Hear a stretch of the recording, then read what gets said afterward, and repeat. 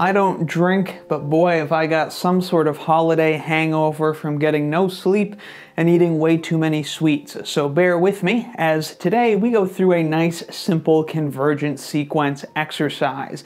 We'll be proving that if every term of a sequence is equal to the same real number, say c, then that sequence converges to that constant value c. This is a great way to practice when you first learn the definition of a convergent sequence to prove a simple, obvious result like this using using that definition. If you need a recap of the definition of a convergent sequence and what it means for a sequence to converge to some limit, I'll leave a link in the description to my lesson on the topic so you can check that out. Now, give this proof a shot yourself because it's pretty straightforward before watching the lesson. Try to prove that a constant sequence where every term is equal to some real number c must converge to that constant value c. Alright, hopefully you've given it a try and have a nice little sketch of the proof you worked out yourself.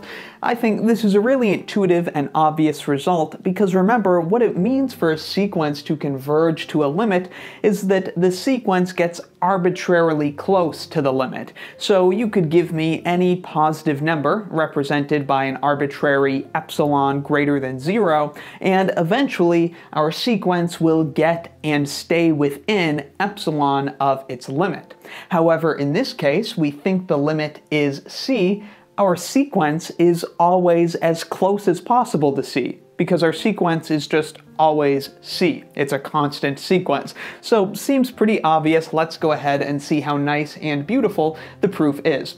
We all know how a convergent sequence proof begins. We have the classic let epsilon be greater than zero. This is just fixing some arbitrary positive real number where the rest of, of the proof is going to show that we can guarantee our sequence will eventually be within epsilon of its supposed limit, which we think is c. If we write this proof to line up exactly with your typical textbook definition of a convergent sequence, the next part of the proof would typically be to say, and set big N equal to something. That something is usually an expression we solved for while doing some scratch work that we usually do before writing a convergent sequence proof in that scratch work, what we do is figure out how far along in the sequence do we need to go to guarantee the inequality we want, to guarantee that our sequence will be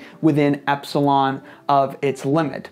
For this proof, as you'll see, as you would see if you did the scratch work on your own, and as you'll see as we finish up the proof, any value of big N will work. So we could say, and let big N equal 1. Then, for all little n, this is basically saying for all terms of our sequence. So we say for all, for all little n greater than or equal to big N, we want to show that the terms of our sequence, a n, are within epsilon of the limit c. So let's see how that works out to represent the distance between the terms of our sequence and the claimed limit of c, we write the absolute value of a n minus c. Remember, the end goal is to show that this is less than epsilon, which thankfully here is a piece of cake. All we have to do is substitute in what a term of our sequence looks like.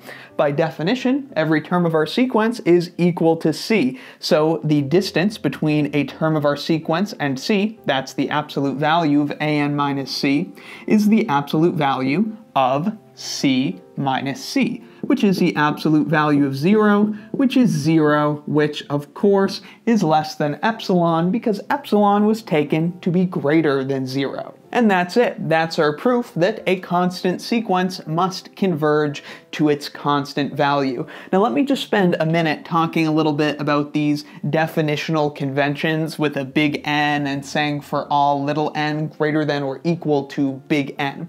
The basic idea behind the big N is that it's some positive integer, big N, so that from the big nth term of our sequence onwards, the following string of equalities and inequalities holds, which is why we say for all little n greater than or equal to big N. From this point in the sequence onwards, for all n greater than or equal to big N, what we want to be true is true. Of course, the smallest positive integer is 1, so by setting big N equal to 1, the smallest positive integer, we're really saying this stuff holds for every term in our sequence, a1, a2, a3, and so on, which of course makes sense since every term of our sequence is the same. Every term is equal to that constant value of c. Also, in your typical convergent sequence proof, the value for big N that's going to work is actually going to be a function of epsilon,